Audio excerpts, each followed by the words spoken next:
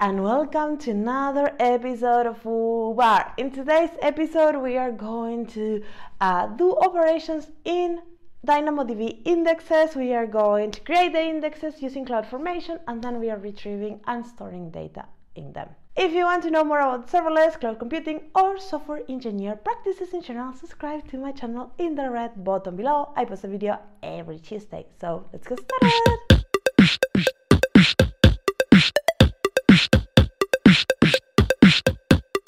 This is the last episode on my Dynamo DynamoDB series. I hope you're enjoying this series. If you have not watched the previous episode, I really recommend that you go and watch them. The first one we talk about the basic concepts of Dynamo. In the second one we talk about this app that we are building. We model the data and we did a lot of homework to get this done in the most efficient way. And in the third video, we created the application and we created the table. In this video, we are going to work on the indexes. We are going to create the indexes. We are going to retrieve data from the index, store data in the index, and all the things. So let's go directly to the code and get started with it. So in the last video, we stopped in something that looks like this. This is our table. It's, it's writing there. And now we need to make it happen in the indexes. So our code, our template looks like this. We have four functions that are either writing on the table or reading for the table. And then we have one Dynamo table with a primary key called property ID and a sort key called sort key. If you don't know what I'm talking about, I recommend you to go to the first episode on this series because this is a continuous series on uh, modeling Dynamo. Uh, so I just continue from where I stopped. Now we are going to start creating the indexes and then reading from them. So the first access pattern I want to tackle is the search by location. So for that, I'm going to create the first index. So in your DynamoDB table, you need to create a new property called global secondary indexes. And here you will list all the indexes. We will have three indexes at the end of this video.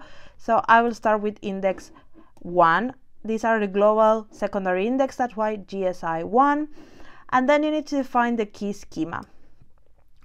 This is our primary key, this is sort key of the index. And one important thing here is that you need to start defining these attributes in your Dynamo table. So before we have property ID and sort key, but now as country city appears as our primary key in the global secondary index, I need to define it in here. Don't define anything extra because you will get an error. Just define exactly what you are going to use in the key of your indexes.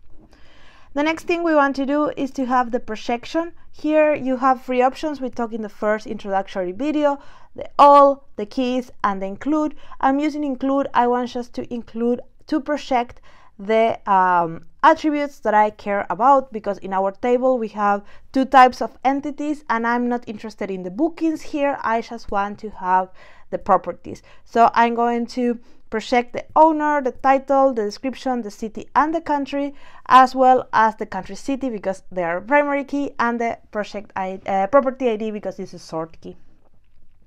You also need to define a provision throughput for this index. This is an example I'm giving one-on-one. -on -one. If you are using this in production, you need to do some analysis on how much capacity you are going to need. This is not part of that series, so we are not covering that. If you want to know more about designing uh, capacity for your Dynamo, let me know in the comments. So now we have our index and the thing is that whatever is in our table will not go to our index now. So we need to add new things in our table or then we need to drop the table and start again. We are going to create a new function called search by location. And again, we are going to create an API, we are going to give permissions to it, but then you can see in the environmental variables, we are going to pass the index name and the table name. We are going to need this for our operations. So now we go to the handler and we can see the function search by location that is here.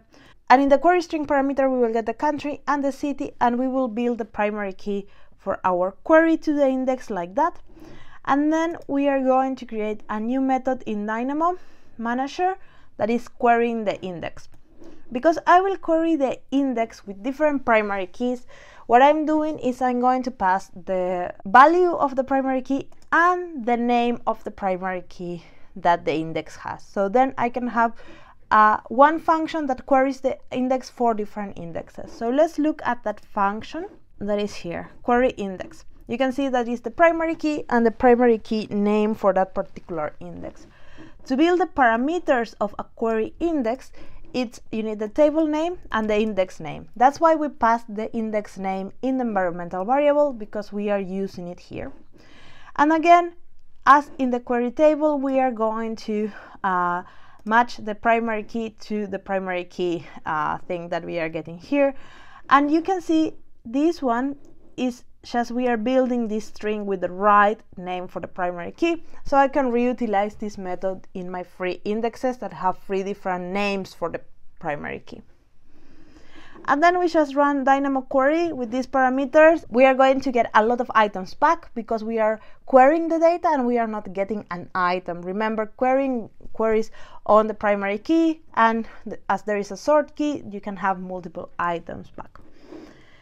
So then when we get those items here, we just need to clean them up to show the result. Uh, the property that is coming back might have the country city as one thing and you need to do a little bit of cleanup and we can see it in this property manager file that we are just returning nice things for our users.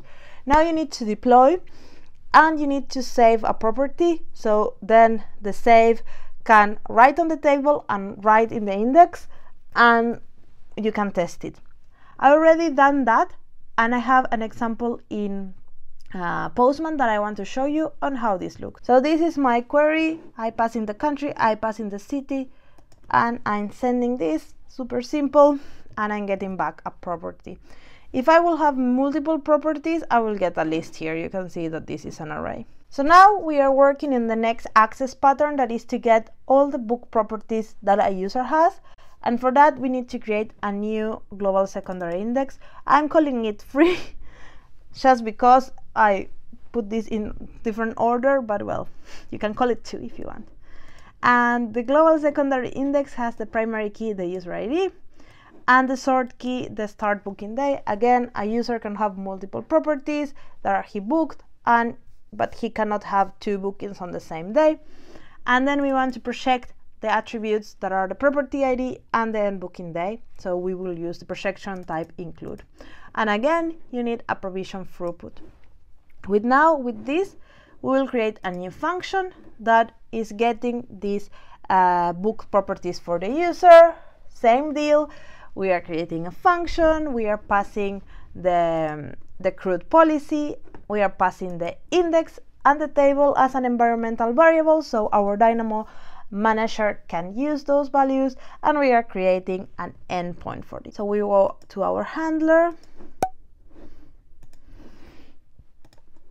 and we look for this that is the get book properties for user that is getting in the query string parameter the user ID and then it's using the query index function from the Dynamo manager that we just created in the previous example and here you can see it we are using the user ID and the name of our primary key is user ID. So if you remember in the previous example we have the primary key here that was this country city and we have the country city uh, as the name of the primary key of our index and now we have user ID as the name of the primary key of our index. Then we can use the same method to search in different indexes. That's important. We don't want to write the same code over and over again. And this, what it does, gets the items from the index. It will get many items and then we will clean them up and we show them.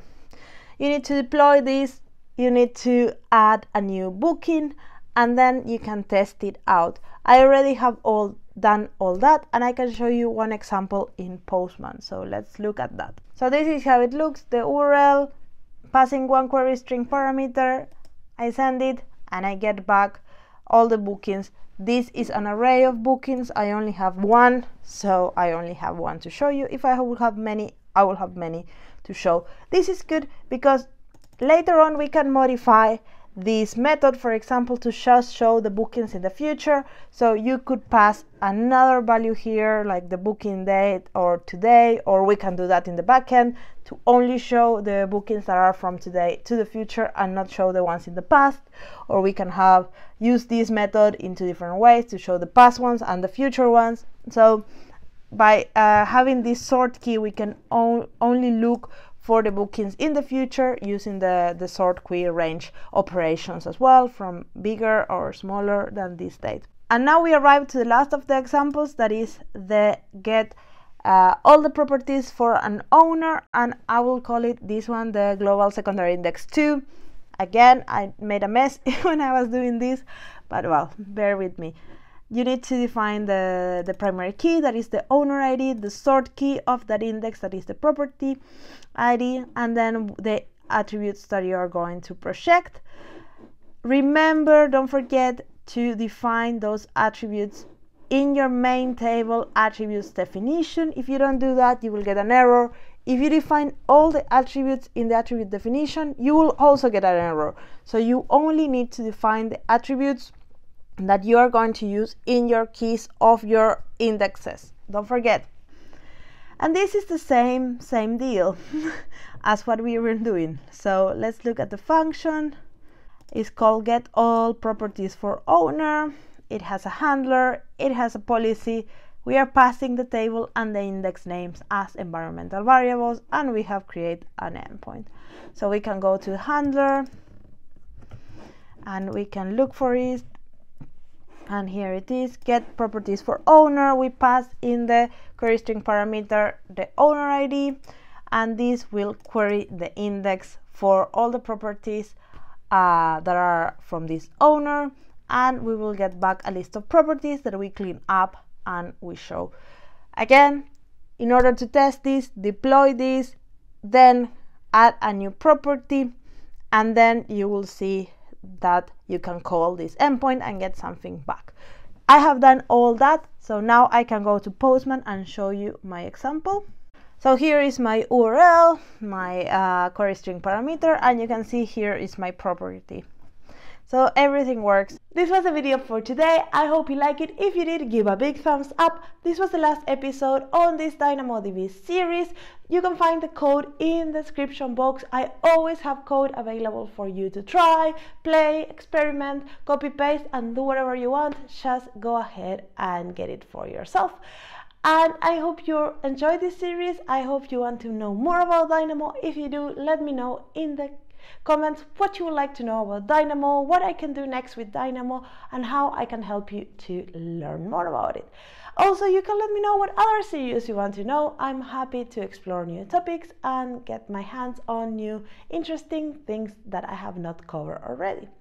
And that's it for today. Around here, there are other videos from my channel for you to watch. Go ahead, click, and I see you next week with a new series on Foobar. Bye bye!